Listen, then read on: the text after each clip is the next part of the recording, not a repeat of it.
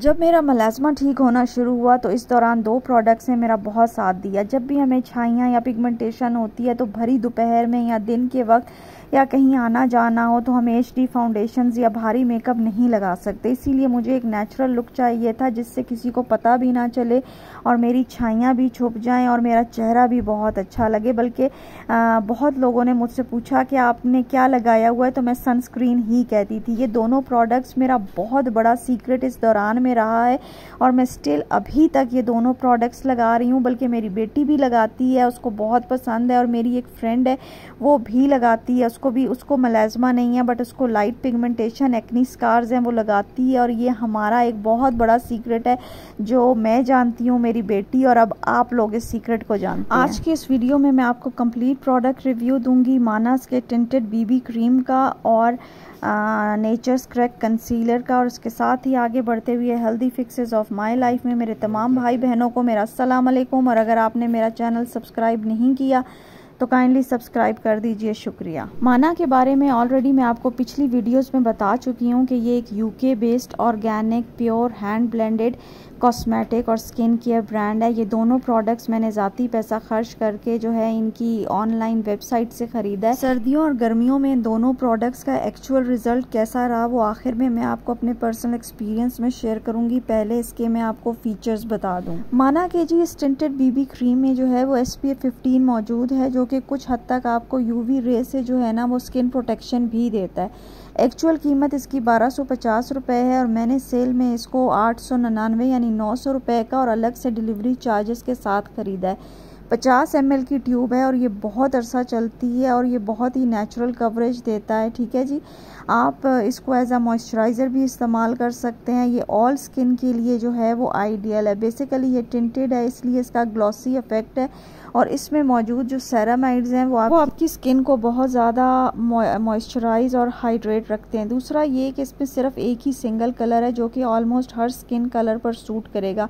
मेरा, मेरी बेटी और फ्रेंड तीनों का कलर कॉम्प्लेक्शन जो है वो डिफरेंट है, मगर ये हम तीनों जब भी लगाते हैं, ये ऐसा लगता है जैसे हमारी ही स्किन टोन के लिए है। इसके जी तमाम इंग्रेडिएंट्स जो हैं, वो raw organic pure unrefined unbleached waxes और बटर्स शामिल किए गए हैं। इसलिए प्रोडक्ट की खुशबू कलर और कंसिस्टेंसी में फ़र्क हो सकता है। हमेशा इसको जी डार्क और ठंडी जगह पर रखें। इसके अलावा आप इसको मॉइस्चराइज़र के साथ या मॉइस्चराइज़र के बगैर गर्मियों में लगा सकते हैं और ये एक फाइव स्टार प्रोडक्ट अगली प्रोडक्ट जो जी है, वो है नेचर्स क्रैक कंसीलर है। ये भी एक फाइव स्टार प्रोडक्ट है और इसके जो मकदार है, वो पाँच एम है और इसकी जो कवरेज है, वो बारह घंटे तक चलती है। इसके अलावा वाटर रेजिस्टेंट है ऑयल कंट्रोल है फ्रेगरेंस फ्री कोई खुशबू नहीं है नॉन कमीडोजेनिक है।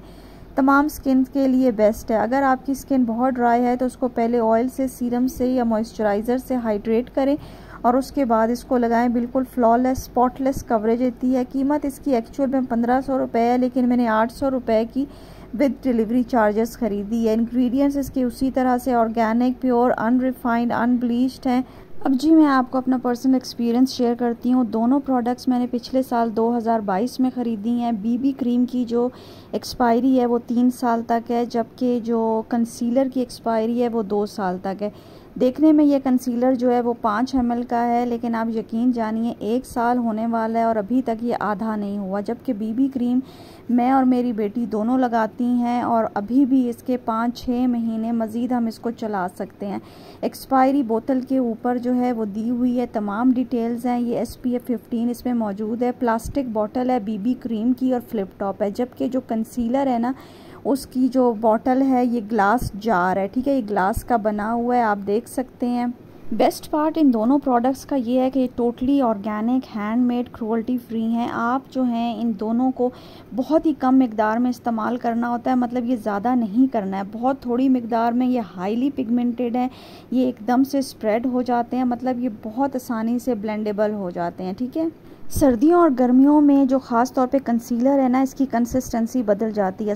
ख़ास तौर पे जब सर्दियाँ होती हैं तो काफ़ी ज़्यादा सख्त और हार्ड हो जाता है और मुझे इसको स्टीम करना पड़ता है।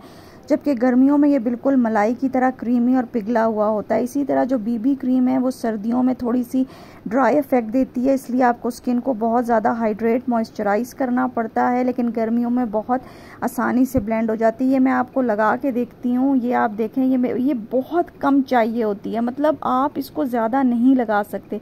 पचास एम की ये बोतल है, मैंने आपको बताया, पिछले साल मैंने ख़रीदी है, मैं और मेरी बेटी दोनों काफ़ी लगाती हैं, लेकिन ये इतनी कम लगती है, अगर आप ज़्यादा लगाएँगे ना तो बिल्कुल मुश्किल हो जाता है इसको ब्लेंड करना। मैंने बिल्कुल ज़रा सी कतरा आपके सामने लिया है। ये आप देखें, अब गर्मियाँ हैं ना, गर्मियों में वैसे ही स्किन जो है वो मॉइस्ट और हाइड्रेट होती है, ज़्यादा ज़रूरत नहीं पड़ती मॉइस्चराइज़र की। ये देखिए मैं आपके सामने इसको लगा रही हूँ, ये इतना शीन क्योंकि ये टिंटेड है, इसलिए शीन लुक देगा, लेकिन जो ऑयली स्किन वाले हैं ना, उनको इसके साथ पाउडर यूज़ करना पड़ेगा। मैं यूजली क्या करती हूँ मॉइस्चराइज़र लगा के सनस्क्रीन लगा के, मैं पहले बीबी क्रीम लगाती हूँ पूरे फेस पे अच्छी तरह से। उसके बाद जहाँ पर मुझे मलाजमा का शॉट या डार्क स्पॉट कोई नज़र आता है, मैं ऊपर से जो है ना बीबी क्रीम ये जो कंसीलर है ना, इसको टैप करती हूँ। ये देखें आप, पहले मैंने बीबी क्रीम लगाई, उसके बाद मैंने जो कंसीलर है इसको टैप किया। क्योंकि मैं अभी आपको इफ़ेक्ट दिखाती हूँ, मैं अक्सर, क्योंकि एक असूल तो ये होता है ना कि पहले आप कंसीलर लगाते हैं और फिर आप उसके ऊपर अपना फाउंडेशन लगाते हैं। लेकिन ये दोनों इतने क्रीमी हो जाते हैं ना गर्मियों में कि ये मिक्स हो जाते हैं। आप अगर लगाएँ तो पहले कंसीलर लगाएँ, फिर उसको पाउडर से फेस पाउडर से टैप करके उसको अंदर लॉक करें और उसके ऊपर अपनी फाउंडेशन लगाएँ। लेकिन आप यकीन जानें कि मुझे इतना नेचुरल लुक आता है, इतना नेचुरल इफ़ेक्ट आता है कि मुझे अब फाउंडेशन अरसा अरसा गुजर गया है। मैं फाउंडेशन नहीं लगाती, ये नॉन कमीडो जाने का स्किन पर कोई एलर्जी कॉज नहीं करता, आपके हारमोन्स ऑर्गन्स को मेस नहीं करता। आपकी स्किन को इतना अच्छा हाइड्रेट रखता है और आप यकीन करें, मुझे इतने कॉम्प्लीमेंट्स मिलते हैं। मैं अभी कुछ दिन पहले एक बेस लेने गई थी और मैंने सिर्फ़ जो है, मैंने बीबी क्रीम भी नहीं लगाई हुई थी और मैंने सनस्क्रीन पर सिर्फ़ कंसीलर टैप किया हुआ था और जो काउंटर पे लड़कियाँ थी, उन्होंने मुझे बहुत ज़्यादा वाइट बेस दिखाई। तो मैंने उनको बोला कि नहीं, ये नहीं, मुझे लाइट दिखाओ।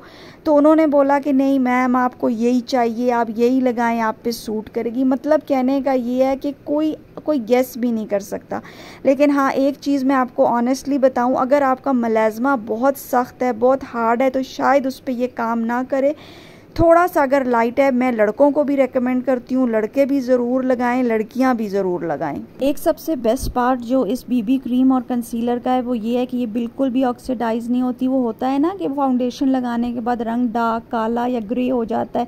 नहीं, ऐसा कुछ भी नहीं होता। ये मेरा अपना ख्याल और मेरी फ्रेंड का ख्याल है। ऑयली स्किन वालों के लिए गर्मियों में थोड़ा प्रॉब्लम क्रिएट कर सकती है। जैसे पसीना ज़्यादा आएगा या पिघलेगी, उसके लिए वो कॉम्पैक्ट पाउडर का इस्तेमाल करें। हाँ अलबत्त कंसीलर तो मैं हर एक को रेकमेंड करती हूँ।